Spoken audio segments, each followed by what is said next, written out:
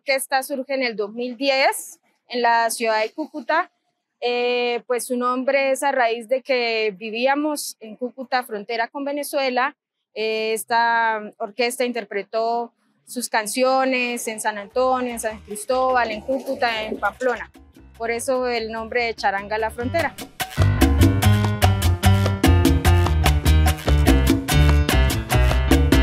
En este momento contamos con 10 integrantes, entre los cuales pues hacen parte tres mujeres que nos están aportando eh, con su gran talento, nos hacen unos importantes aportes a la, orquesta. Es una historia súper linda porque nosotros junto con mi papá eh, tenemos un almacén de instrumentos musicales. Entonces, eh, las cosas de la vida, ¿no? Todo se da de una forma muy linda. O sea, nada pasa por casualidad.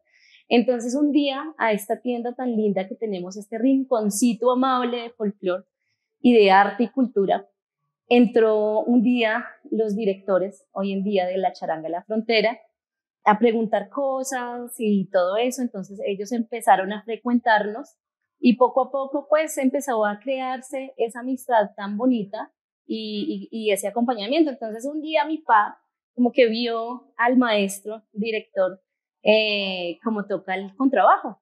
Entonces él dijo, no, me encanta cómo tocas el contrabajo, entonces ven a hacer, y empezamos a ensayar, empezamos a hacer muchas cosas, y ahí se creó esa amistad tan bonita, hasta que un día, pasado el tiempo, y me dijeron, ve, Anita, eh, a mí me dicen Anita, eh, me dijeron, ven, ¿quieres hacer parte de nuestra banda, de nuestra charanga?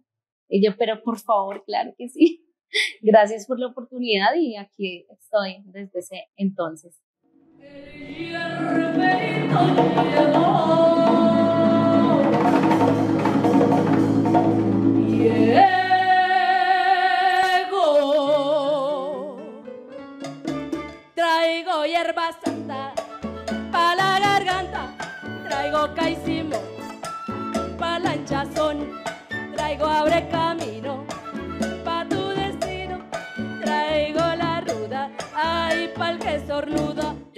Llevo la agrupación desde el 2019 eh, por una publicación en Facebook que hizo Mayra, la directora. Allí realicé una audición con ellos y pues me llamaron y ahí empecé.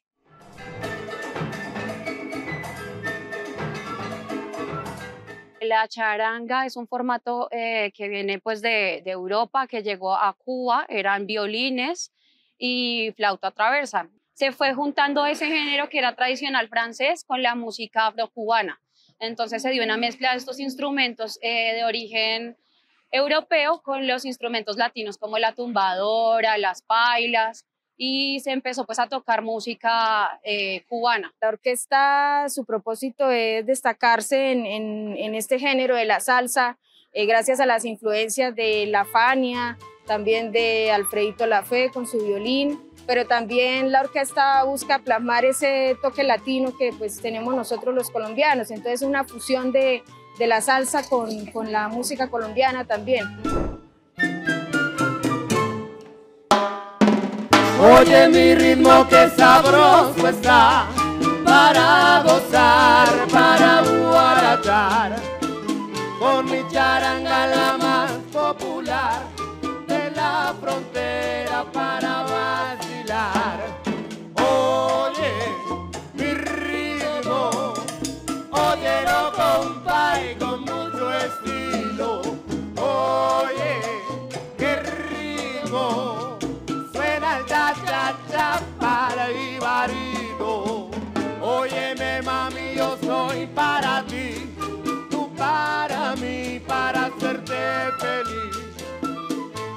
este ritmo que sabroso está, para gozar, para guarachar.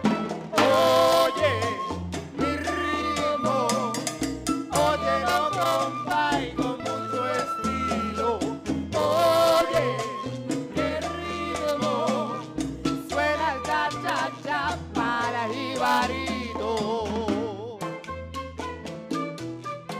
para hacer música, la conexión, la conexión que tienes cuando haces música con otros, la conexión que tienes con el público, poder eh, desarrollar en ti y en los demás la sensibilidad, poder comunicar cosas que de pronto sean, son incómodas y con lenguajes que a veces las palabras no pueden comunicar. Entonces a través del sonido y de otros recursos artísticos puedes decir cosas o transmitir sentimientos o ideas que de pronto de otra manera no sería posible. Es mucha responsabilidad, ¿no? Responsabilidad primero que todo ante el público de realizar una buena interpretación y también pues la alegría, alegría de ver la gente cómo responde frente a nuestras canciones, frente a nuestras presentaciones.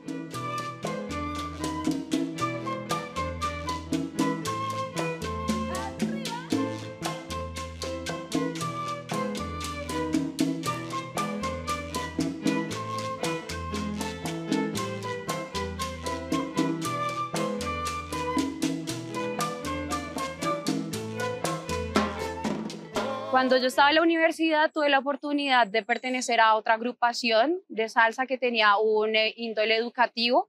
En esta agrupación me doy cuenta que puedo tocar desde la improvisación y no desde la lectura de una partitura. Entonces en ese hecho siento una liberación, una forma de expresión distinta. Cuando estoy en la universidad tengo la oportunidad de ver una clase de interdisciplinaridad donde me cuenta la perspectiva de la salsa también desde su contexto social de lo que se vivió en Nueva York eh, y cómo se reivindicaba la cultura eh, latina a través de este género musical y era una forma de resistir pues también como a esa migración forzada que tenían los puertorriqueños, eh, los cubanos, pues por la situación social de ese momento. Todo esto pues me llamó muchísimo la atención porque me gustan mucho las ciencias sociales y pues desde ahí cogí un amor muy grande por este, por este género musical. Pues por eso la salsa también siento porque es un género que a pesar de que sea alegre puede contar historias que son muy tristes, entonces es ese contraste como de la pena y la alegría de poder llevar la vida de una forma alegre a pesar de las cosas dolorosas. Para mí la música, para mí el arte es algo mágico eh, que me inspira. Yo, yo me levanto y yo digo, bueno, He intentado hacer muchas cosas en mi vida, eh, desempeñarme en otras cosas y, todo como que no se da y siempre como que, ¡pum!, la música. Bueno, yo nunca he dejado de cantar, por supuesto, ni lo dejaré de hacer jamás, pero entonces como que todo influye, todo me dice como que no, mira, la música, canta, canta, canta. Entonces, ¿qué me inspira? Pues la, la, la principal inspiración para mí, pues es mi, mi mi talento, mi arte y pues por supuesto mi familia, mi, mi, mi papá, que ha sido quien me ha inculcado tanto el, el folclore. Sobre todo pues que tuve la oportunidad de compartir con, con muchos maestros de nuestro maravilloso folclore de Colombia. Entonces uno dice, no, definitivamente aquí me quedo. Yo creo que la música nace con uno, ese, ese talento ya nace con uno y desde, pues, desde mi infancia siempre quise, eh, me gustó la música, siempre quise estudiar música, pues mis padres me apoyaron con, con los estudios y por eso estoy en esa orquesta y por eso se fundó esa orquesta. Tuve el placer tan grande y hermoso, es para mí un honor eh, decirlo en este momento, eh, crecí en una familia musical muy bella, entonces vengo de escuchar desde niña arrullos de bambucos, eh, pasillos, guabinas, de todo. Entonces, eh, mis padres, mi papá, él tiene un dueto, junto con mi tío, conforman un dueto de folclore colombiano, se llaman el dueto de los hermanos Echeverry, y ellos, pues imagínate, crecí toda la vida pues escuchándolos a ellos entonces, ese fue mi inicio. Empecé a cantar música colombiana nacional. Aunque ya ha muerto en toda mi ilusión.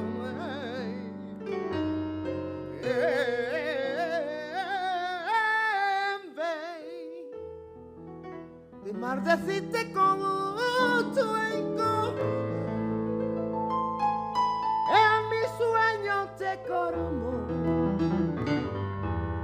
y en mis sueños te coramo.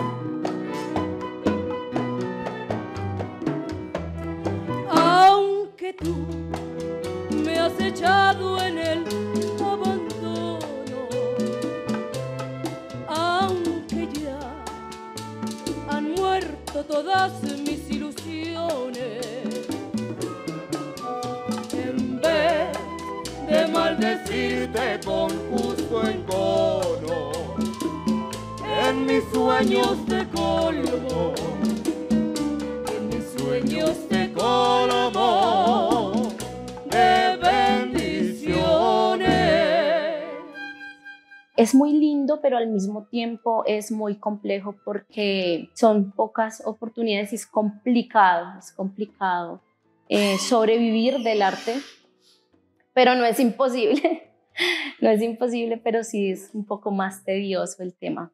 La mayor dificultad es desempeñarse como tal, como músico, poder tener unos rubros, poder vivir de, de la música. Nosotros somos docentes, la mayoría, eh, no podemos vivir como tal de la música, ejercer esto, porque no, no, no se puede vivir como tal de la música. Entonces es una dificultad que tenemos.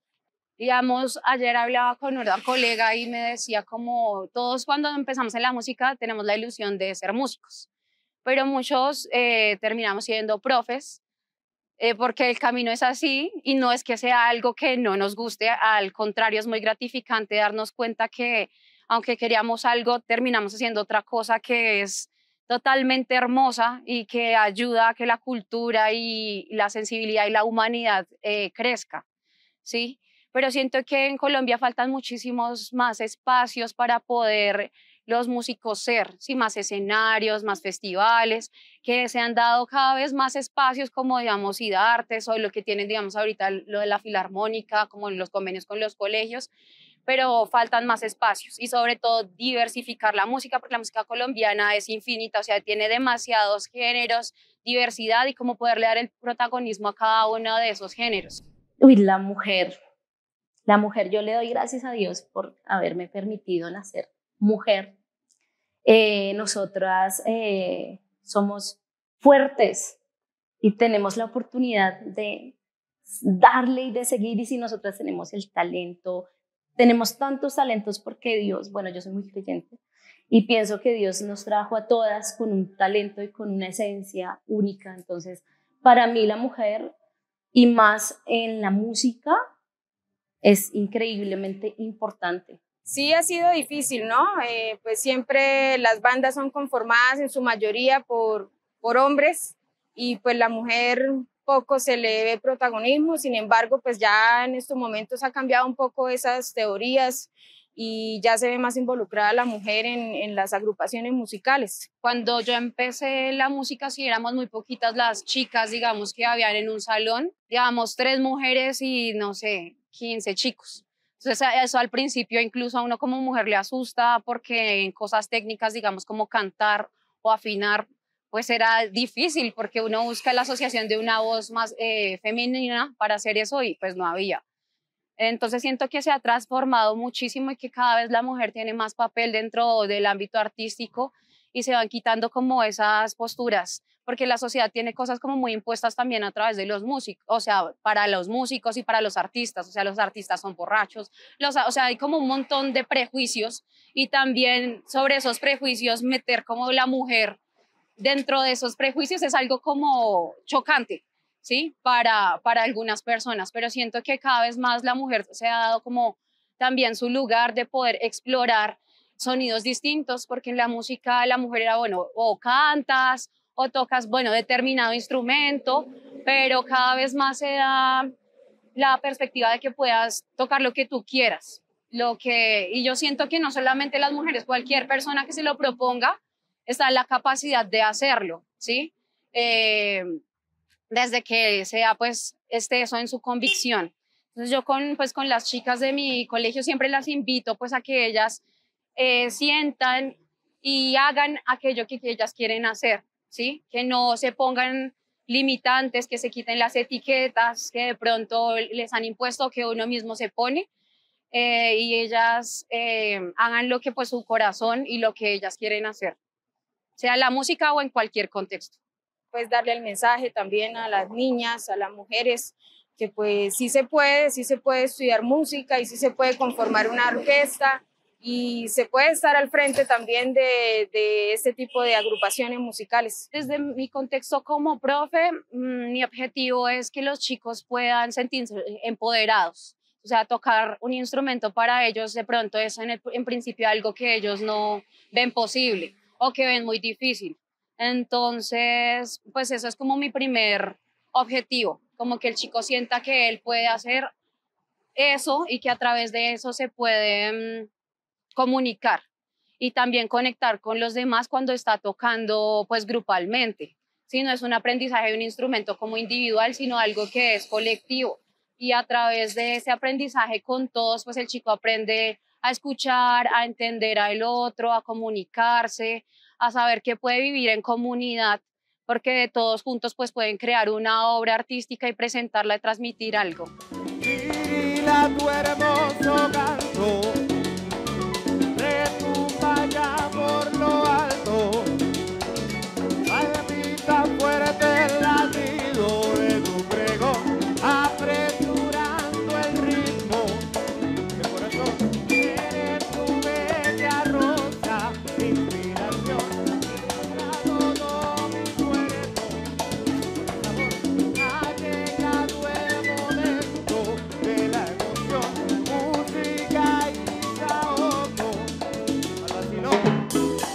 Canta, Siri la baila, Siri la canta, Siri la baila, Siri la canta, Siri la baila, Siri la canta, Siri la baila.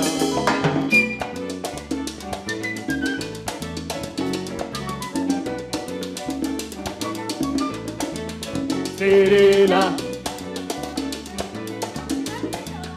Cirila, Cirila,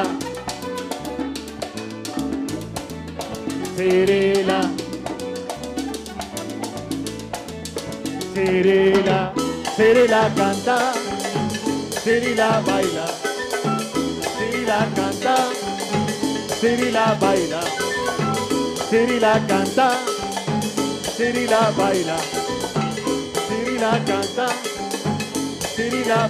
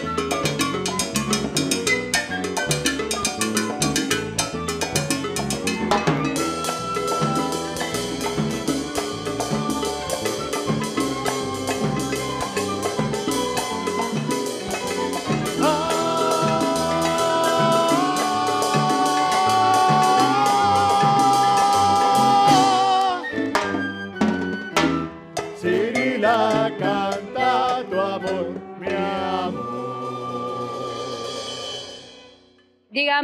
los músicos a veces trabajan con proyectos, ¿sí? Que son a corto plazo. Ese tipo de proyectos muchas veces no cubren las necesidades básicas, digamos, que tiene un trabajador. Por ejemplo, la seguridad social, ¿sí? Los músicos siempre tienen que encargarse de eso. Entonces, alguna manera de garantizar para los artistas en general, pues que tengamos ese eh, acceso a eso.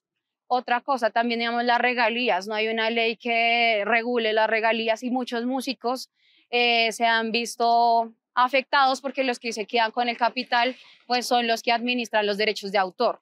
Entonces siento que en ese sentido hay muchas cosas que se podrían hacer para que los beneficios y las regalías lleguen realmente a los artistas y no a quienes manejan eh, supuestamente o administran eh, la creación de un artista.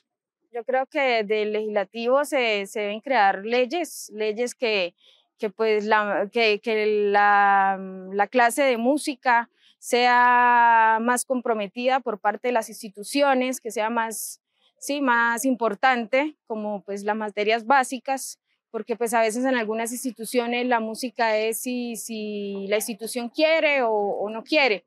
Entonces, pues desde ese lado sí debería de ser como la música un poco más eh, importante en las instituciones.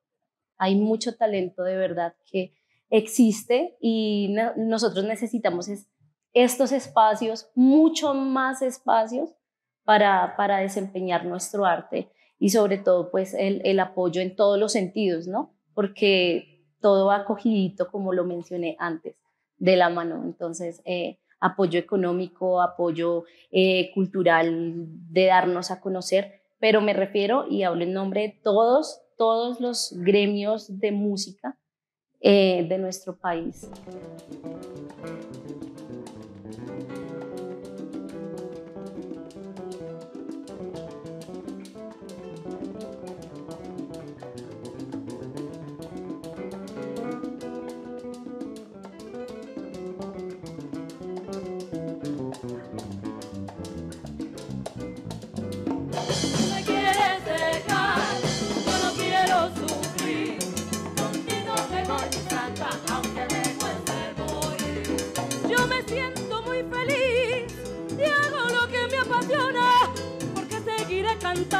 Hasta que acabe, se apague mi voz.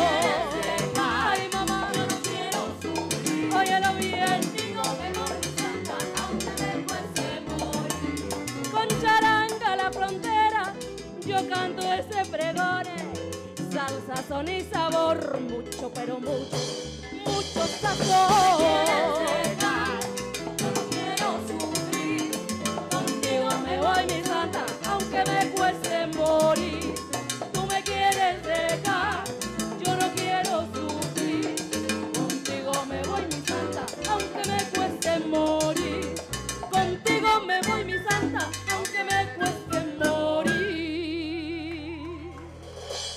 Bueno, pues primero que todo, quiero agradecerles inmensamente por esta oportunidad y por este apoyo. Para mí es así de grande la oportunidad. Siempre, cada vez que me paro a cantar en un escenario, será siempre para mí una oportunidad así de grande. Pues esto es muy importante, es una oportunidad grandiosa para la orquesta porque nos vamos a dar a conocer más en esta en, en este Congreso de la República y y esperar que pues otras instituciones también públicas se unan a, a estos eventos, que nos den más eh, cabida, nos den, nos den más protagonismo a las orquestas y esto es muy, muy importante para mostrar la, la identidad cultural también. me parece súper importante y súper bonito porque es como poderse tener acceso a algo que de pronto uno ve como muy lejano de uno pero está en la vida cotidiana, así la política, todo lo que pasa, todo lo que se legisla, pues tiene una incidencia muy grande en la vida de todos, pero a veces como que nos cerramos a esos espacios y poder ir allá a ver cómo funciona, eh, me abre la perspectiva pues de eso y me acerca también y me cuestiona a estar un poco más pendiente también de esos procesos, no solamente digamos cuando hay elecciones, sino de estar constantemente como en esa em, consulta también porque se hace allá, porque igual se están velando por mis derechos. Y también me parece que es muy importante como que el Congreso se dé la oportunidad de establecer un diálogo con los artistas y con la cultura para empezar a visibilizar también pues lo que hacemos los artistas y poder desde ahí empoderar eh, pues el gremio artístico y la cultura que es algo súper importante y vital para la humanidad,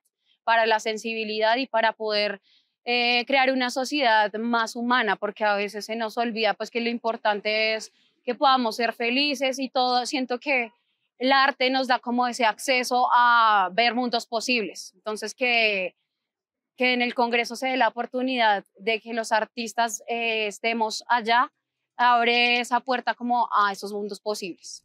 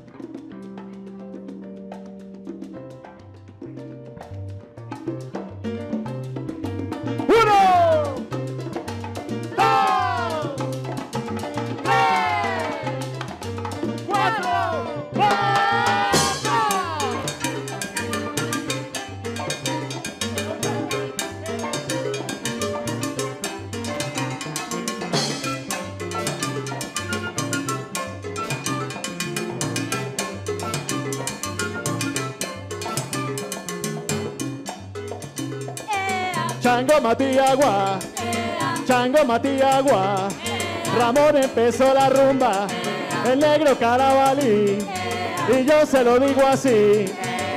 Oye mi ritmo, qué rico suena, charanga la frontera.